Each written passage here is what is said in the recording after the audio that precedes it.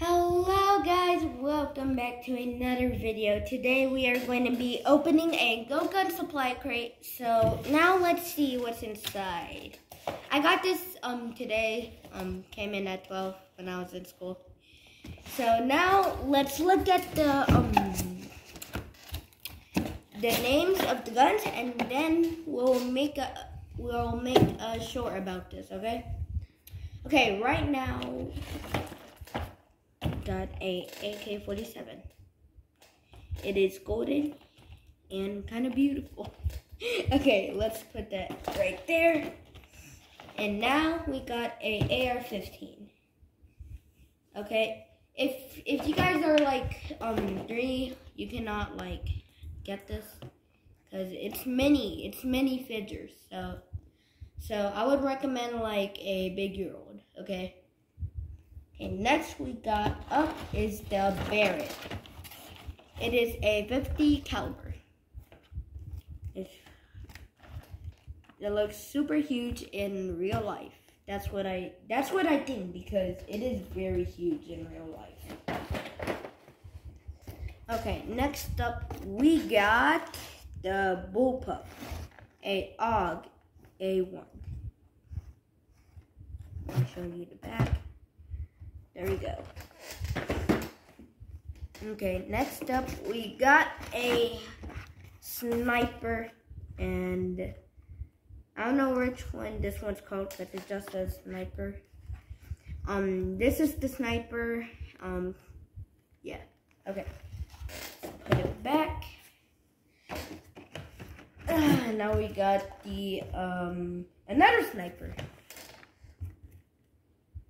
There we go. Take a look, look, look.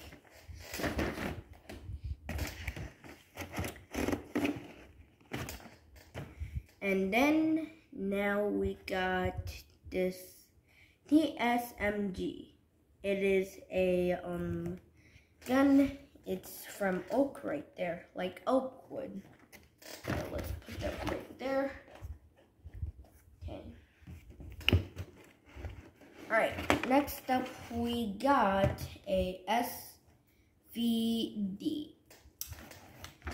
Um, so this gun is a sniper, but not really sniper because I think it goes into rapid fire, so we don't know yet. Alright, next up we're going to get another AR-15. Put that back. All right and now it is um, camouflage, um, not black kind, and uh, and if you guys want to see the back, I'll show you the back on the shorts. Okay, so this is um, a AR-15 Desert Storm actually. So, well, it's normally a M4 because and M4 has the triangle. Okay, let's put that back. Alright, alright.